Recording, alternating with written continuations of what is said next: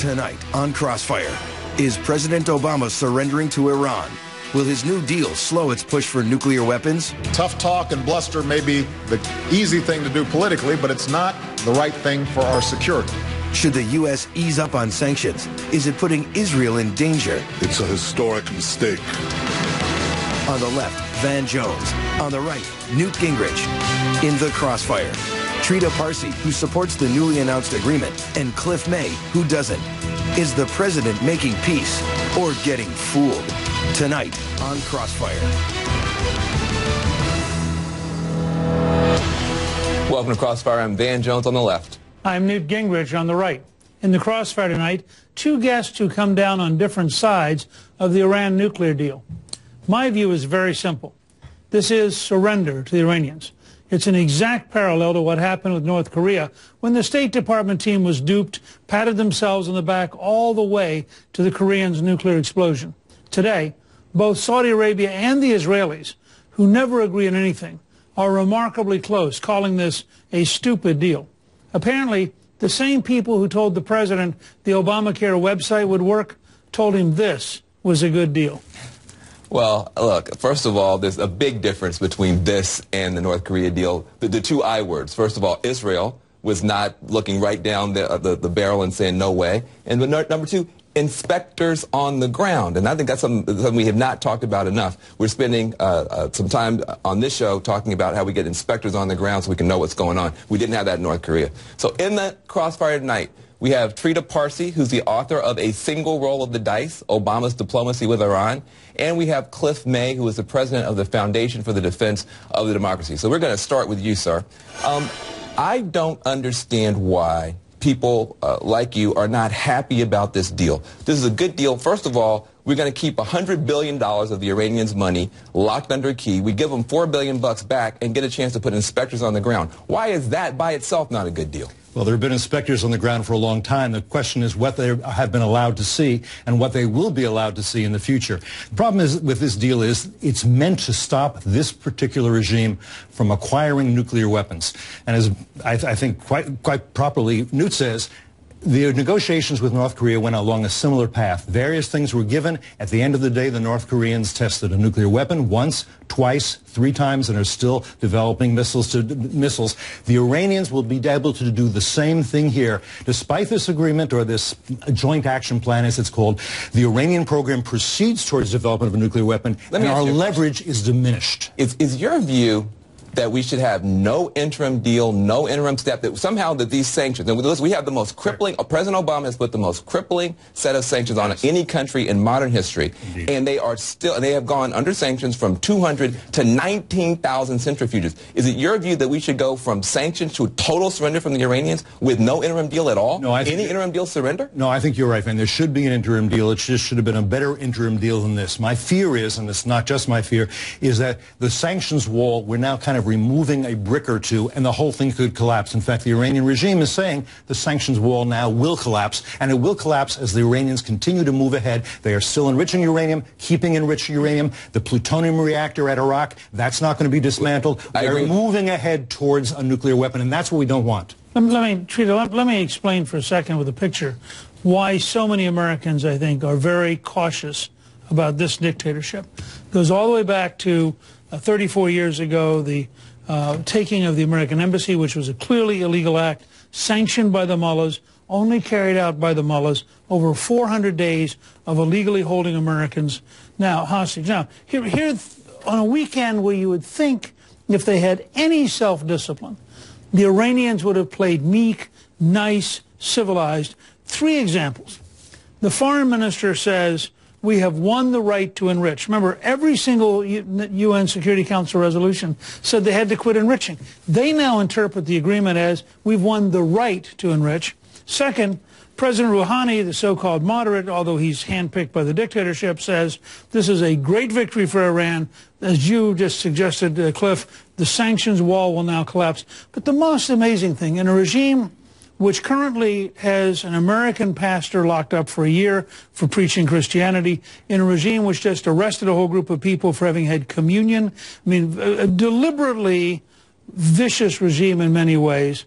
You have the real dictator, Khamenei, saying over the weekend in a speech, that the Israelis are rabid dogs, the Americans are our enemies. Now, why should any American trust a dictatorship that is openly telling us with contempt that they fully plan to break this agreement? Well, all you've done here is to repeat the problem. You've not presented any solution. There's no doubt that this regime in Iran is a regime that is not popular with the people in any way, shape, or form. The question is, how do you deal with this issue?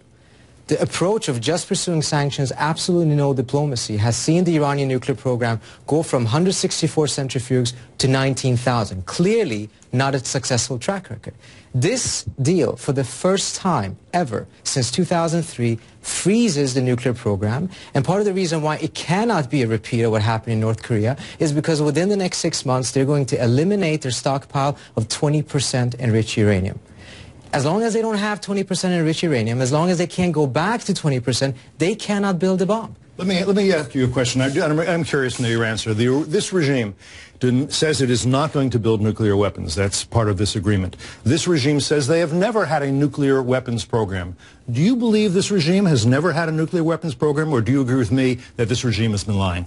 This regime has been lying about some of these things, but here's the deal. Have they been lying oh, about having a nuclear weapons here's program? The deal, here's the deal. Can I just get that and answer clearly on that one? I believe that prior to 2003, they did things that are illegal and that had clear weapons dimensions. Okay. Now, here's the issue. And you think they stopped in 2003 well, for, for good? Your questioning is leading to the idea that we have to trust them. That is not the case. Yeah, I'm glad you're, no, no, no, glad you're hearing that. What we, we have, have, to, to verify. Do, we have to have a mechanism to verify that they are not cheating on what they're saying they're going to do, and I, I, that this will detect them so quickly so that we can do something about it. This is why this is a good deal. We will get unprecedented inspections in Iraq in the next six months. They did not sign and the additional accord which would allow for on-demand exactly intrusive inspections, and that should have been part of the deal, and then it would have been a better deal. Well, that's exactly why we have to take this to the second phase, and in the second phase, if no one sabotages it, which unfortunately there is a risk that people in the city will sabotage deal. We will get to the second phase, and in that second phase, the Iranians will have to sign the additional protocol. They have already indicated mm-hmm. that that will take place.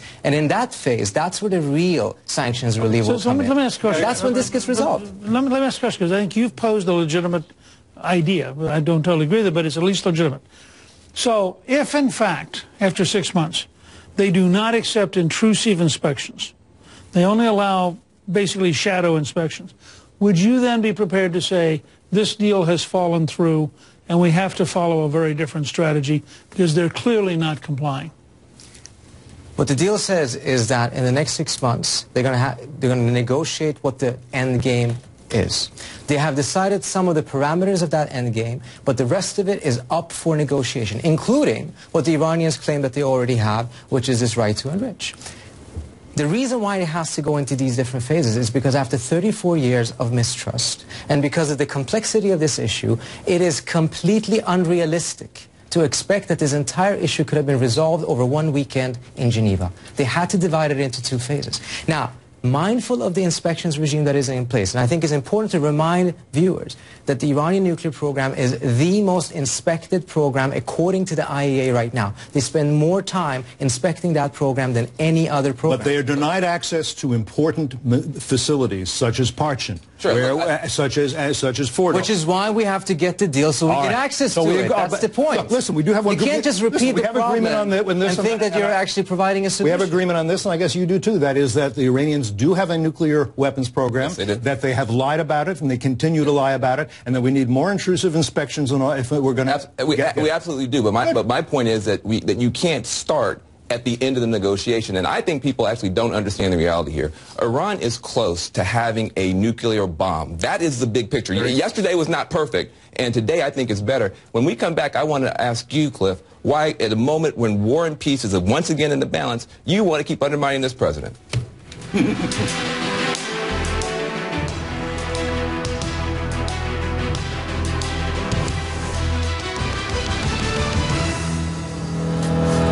Welcome back. In the crossfire tonight, we've got Trita Parsi and Cliff May.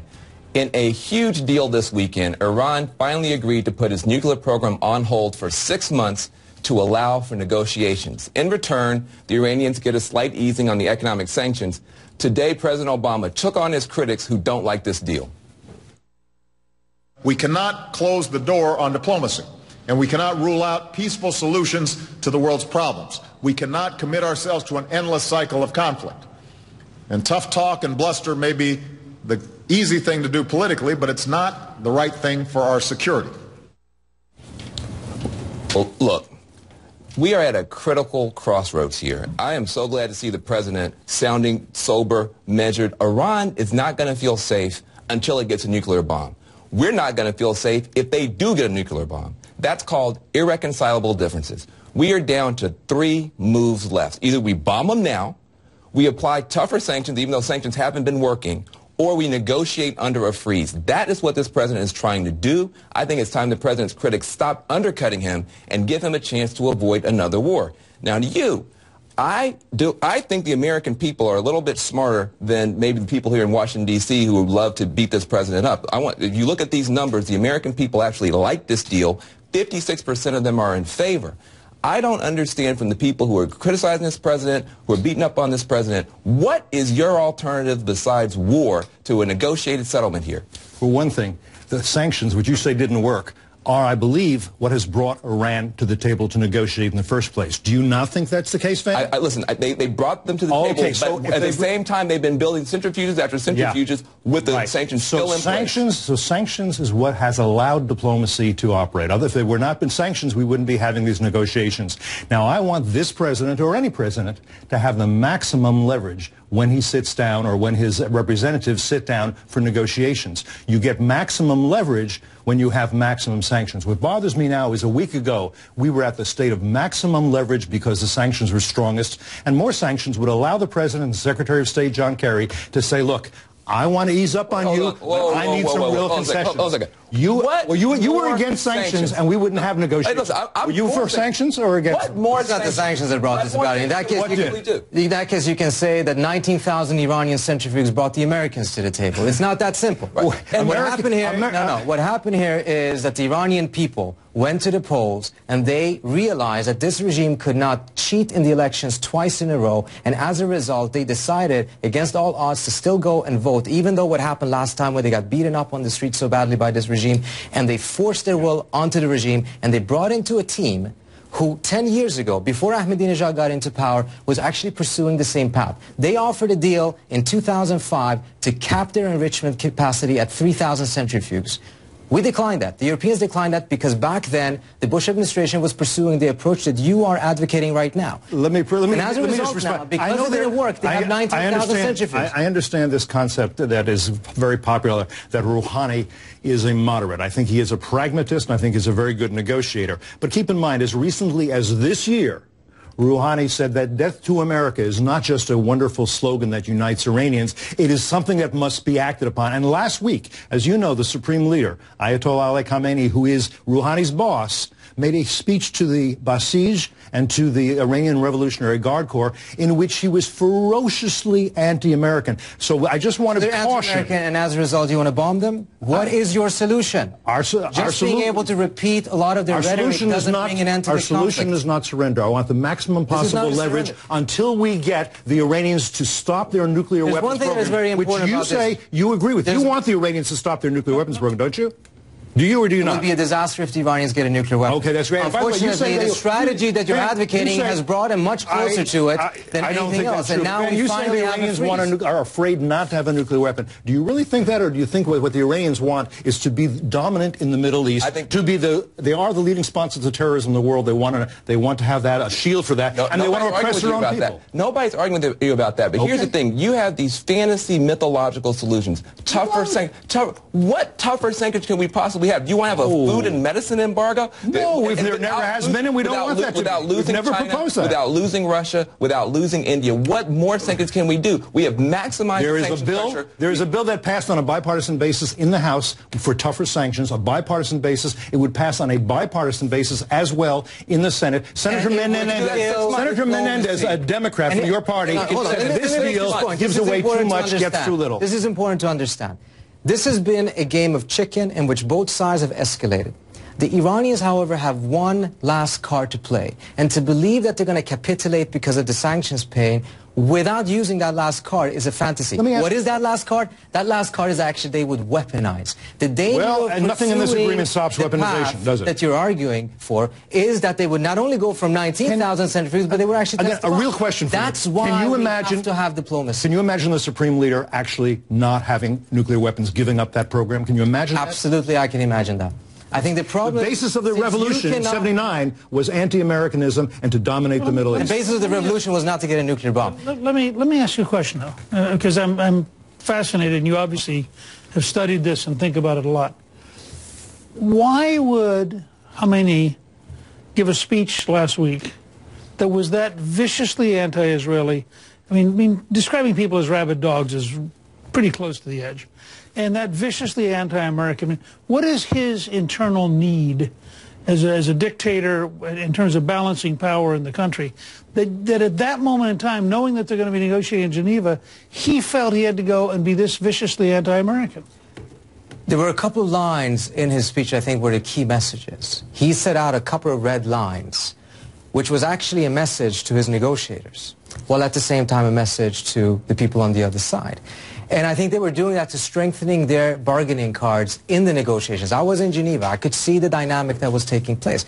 This is a very tough negotiation. Part of the problem with the attitude of thinking that we can just dictate the terms is because that's a misread of the amount of power the United States has vis-a-vis Iran. If it was that simple, this issue would have been resolved 15 years ago, and the Iranians would not have Let me just add- 19,000 let, centrifuges. let me add something Yeah, and, and you sure, respond. yeah. You know, all the pundits, all the, the politicians that are on TV saying it's a terrible deal.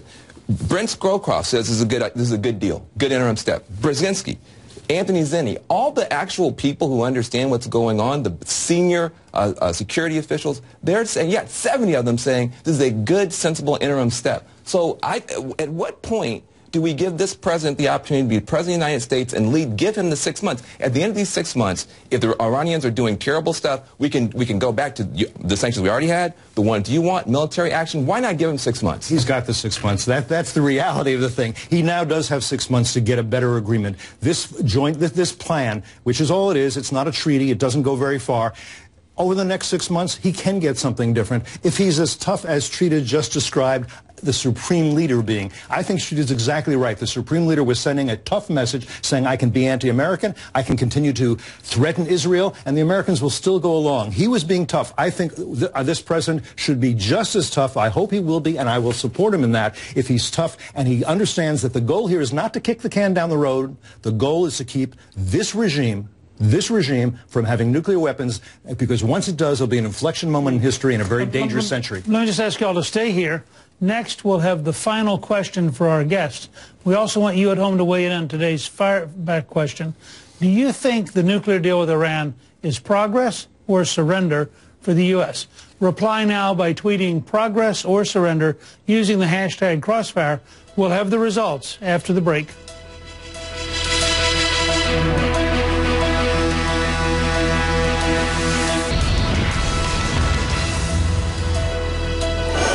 Now we're back with Trita Parsi and Cliff May, and it's time for the final question. I, you're an optimist, you have hope, etc. But let me ask you, if there's a final point here, and you're right, diplomacy may not work, what would you do to stop the Iranians if, in fact, in the end, they're determined to get a bomb? You know what? When you invest in diplomacy, you got to really invest in it. No one asked the question, if you go to war and it doesn't work, what do you do then? Because we are committed to plan A. Plan A is now diplomacy, and we got to make everything possible, every effort to make sure that it's a success. If I- it's a agree with that. failure, we'll talk is- about it later on. No, no, but At this point, every effort to has to be made to make sure that this is resolved peacefully for a very simple reason. The United States has had a war in Iraq, a war in Afghanistan. The population is really tired of war, Right. and that's why we got to So- make sure that So if diplomacy diplomacy succeeds. fails, would you accept an Iranian nuclear weapon?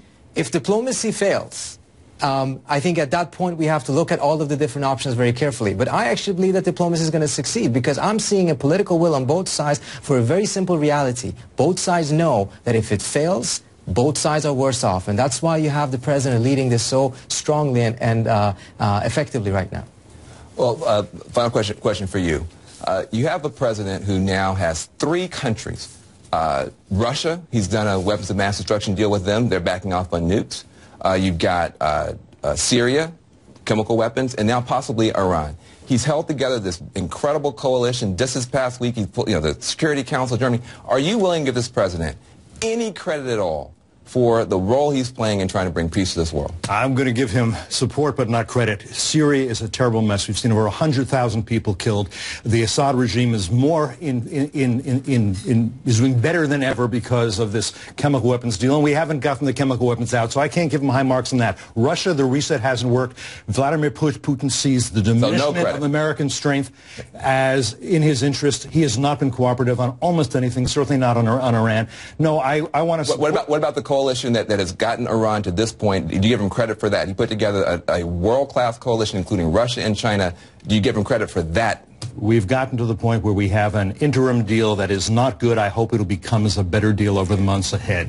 well, at least you can't say I didn't try to I give can't you say you didn't try. Man, you tr- always try. I, I give try. you credit. That's I give good. you credit. That's good. Well, thank you. good. I, am the diplomat.